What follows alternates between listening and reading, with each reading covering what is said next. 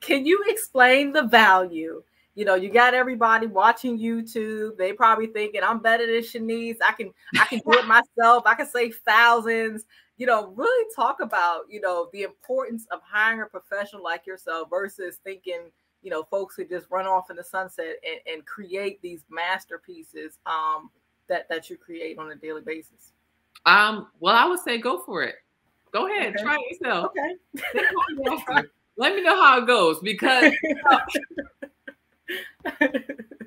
no, but in all honesty, it, like to be real, like I think that hiring a professional like myself, it, I come in with the expertise of not people try to do things by themselves, like you know whether it's through an edit or getting things out of their closet, but then there's so much emotional attachment to certain things that you end up like not getting rid of what you should be getting rid of.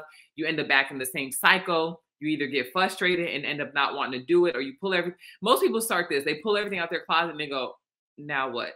For me, I have an eye which allows me to see like, okay, this is how after just through conversation or communication, like understanding their lifestyle, or you know, just them telling me like the daily day to day things that they do I then create the space so that way it flows and functions with their day to day. And they don't even recognize it because we're on autopilot all the time, that we always go to the same things all the time. It's literally like you get up, you get dressed, you brush your teeth, all the things that you do naturally because it's sub- subconscious. You already know what you have to do. Whereas I create that space so that way when you come into the space, it's the same thing. It becomes like your subconscious and it makes life flow easier. When you're doing your laundry and putting your laundry away after I'm out the space, you know, everything has a place. I know this goes here, I know this goes there, but when they try to do it themselves, they don't even know where to start. They don't know what they're getting rid of. There's like a whole process that I take people through of like, who are you trying to become? What season of your life are you in? What are you making room for? What are we making room for? Like, if you're single and you want another relationship, well, there's no room in this closet for his stuff. Like, I try to help them create the space of where they're trying to go in their life. And I have like a little fun, uh, funny thing that I put on my Instagram when it's like, okay, I I can do it myself, and I show them what happens when my clients have done it themselves and they call me because it's a disaster still. they get frustrated at a certain point and just toss everything back in the closet like, man, I don't have time for this. Right.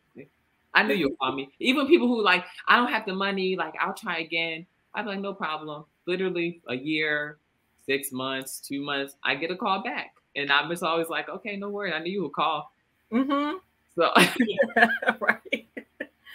Oh man, but that's gotta be tough, especially you know my, my thing is especially like people that hoard or either have a hard time getting rid of old stuff. Like, doesn't that aren't you like scared to like I would say hurt people's feeling like especially if somebody like passed. Like I know personally, like my grandfather passed, and he was mm-hmm. like I didn't have my father, so he was like my father figure. So I know for me, instantly, mm-hmm. like I have mm. like a couple of pieces that I'm not going to get rid of. But if people have more than that, like how do you help them navigate letting go? Part? Yeah. Um, well, I like I said, I like to have fun. Like my uncle, he, there's a little nickname that he calls me like Goofy because I'm always like finding like the humor in something just to make the situation a little bit lighter. Like that's just how my whole family is actually. Um, but when I'm in this space, especially if like someone's dealing with grief, I actually had a client recently, like she lost her mom and her sister during the pandemic back to back. Um, and you know, she was like, I just want to get organized. And as we were going through the closet, there are things she's like, Well, my sister gave me this, or my mom, and I'm like, Well, are you gonna either wear this? Are you gonna use this? Like, did they value it? Like, you know, finding out if the person that passed, like, did they actually value this item or was it just an item in their house and you're like, it's the last thing that I have you know, to hang on to them. Like it's important to like ask those questions of like how connected they are to the piece. I don't make them get rid of everything, but if there's like, you know, a lot of things that you're not going to use, think about who it can help. Like, would mm-hmm. you know, like who can you give it to? Maybe somebody in the family. Maybe instead of just like, oh, I'm just going to donate it somewhere, find an organization that you know will be able to utilize it so that you know like your family's like heirlooms are being used somewhere that people are going to respect it, honor it the way that you would have.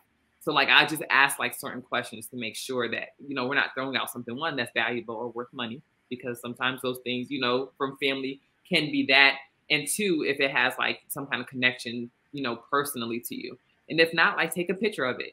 And then when you're ready to give it away, like at least you still have the photo and it whatever because people don't understand that it's not the item like that that like provokes the emotion or the feeling or the remembrance. Sometimes you can literally take a picture of something, look at that picture because your mind doesn't know the difference. Mm. Like your mm. body, you'll still be able to evoke the same experience, the same, you'll be able to sit, smell the same scents, whatever it is, it'll like just bring back that memory. So I just like walk people through a series of questions when we're going through that process.